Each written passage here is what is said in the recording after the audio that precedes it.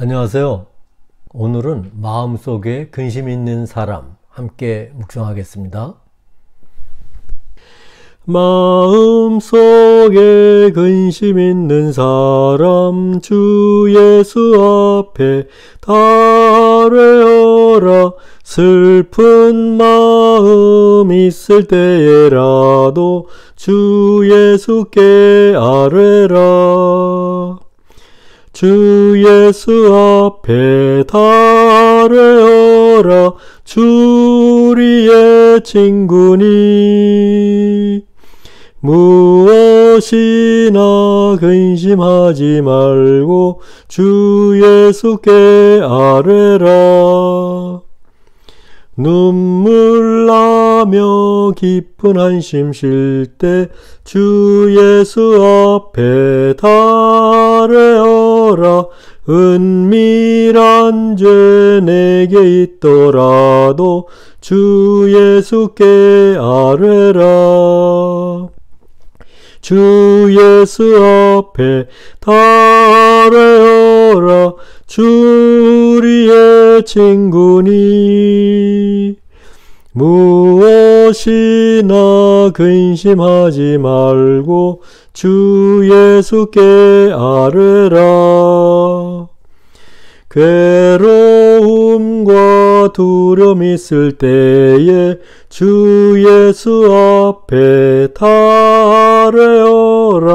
내일 일을 염려하지 말고 주 예수께 아뢰라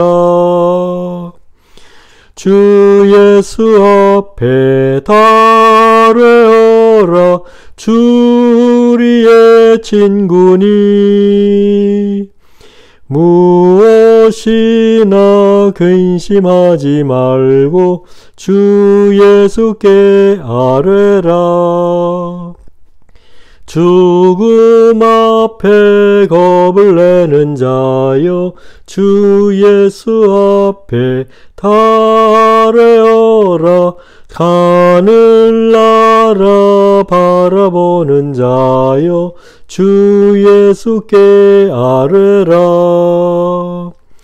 주 예수 앞에 달래어라 주 우리의 친구니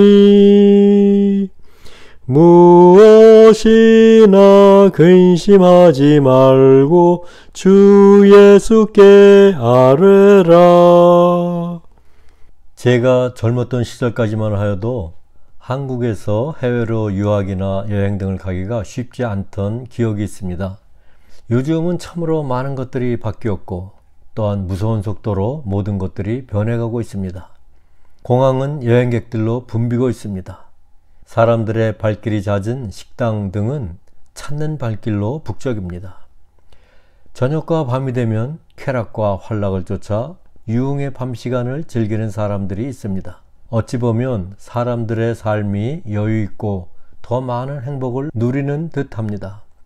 최근 영화 한 편을 보게 되었는데 그 영화 속의 내용 중 젊은이에서부터 노인들에 이르기까지 극심한 스트레스와 근심과 걱정들로 인하여 스스로 잠들지 못하고 숙면을 취하지 못하여 안정제 등 수면에 도움을 주는 처방약 등에 의존하는 사람들이 예상외로 많음이 새롭게 다가왔습니다.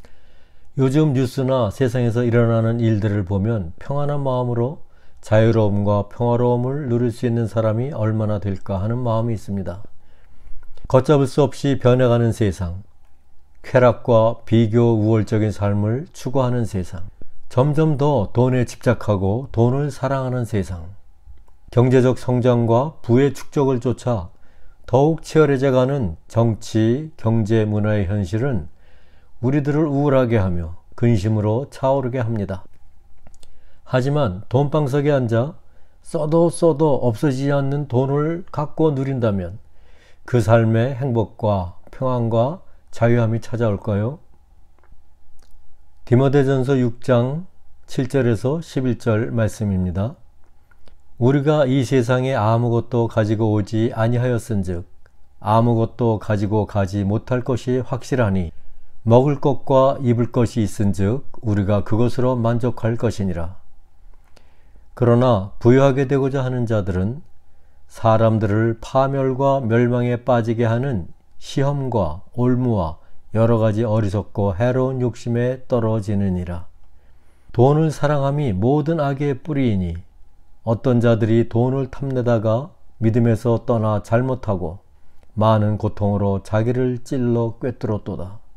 그러나 오 하나님의 사람들아 너는 이것들을 피하고 의와 하나님의 성품과 믿음과 사랑과 인내와 온유를 추구하라.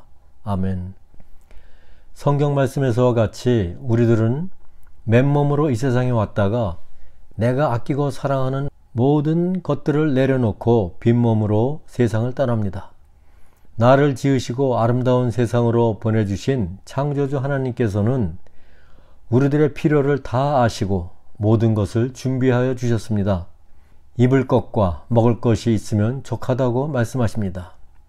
주변을 살피고 돌아보면 내가 추구하고 있는 것들, 길을 쓰고 손에 움켜쥐려 하는 돈과 명예 등 세상의 것들이 무엇이길래 탐욕들로 시끌벅적한 세상을 늘 마주하며 살아가고 있는지요.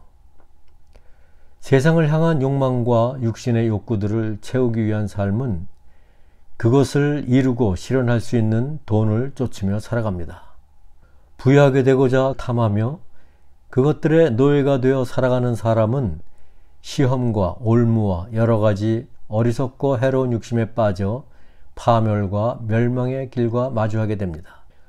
저도 돈을 사랑함이 일만하게 뿌리가 됨을 체험하였고 또한 세상과 주변 사람들을 통하여 보고 있습니다. 하나님은 돈을 사랑함이 모든 악의 뿌리라고 말씀하여 주십니다. 어떤 자들이 돈을 탐내다가 믿음에서 떠나 잘못하고 많은 고통으로 자기를 찔러 꿰뚫었다고 말씀하십니다. 오 하나님의 사람들아 너는 이것들을 피하고 의와 하나님의 성품과 믿음과 사랑과 인내와 온유를 추구하라 말씀하십니다. 우리 모두는 죄로 물든 연약한 육신을 입고 살아가지만 나 같은 죄인을 새 생명으로 살리시기 위하여 이 땅에 사람의 몸을 입고 오시어 십자가에 달려 피 흘려 죽으시고 부활하신 성자 예수님을 믿음으로 나의 주님으로 영접하여 그분을 쫓아 살아감으로 하나님의 성품과 믿음과 사랑과 인내와 온유를 추구하며 살아갈 수 있습니다. 예수님과 함께하는 이 삶에 세상이 줄 수 없는 기쁨과 사랑과 감사와 자유와 평안이 있습니다.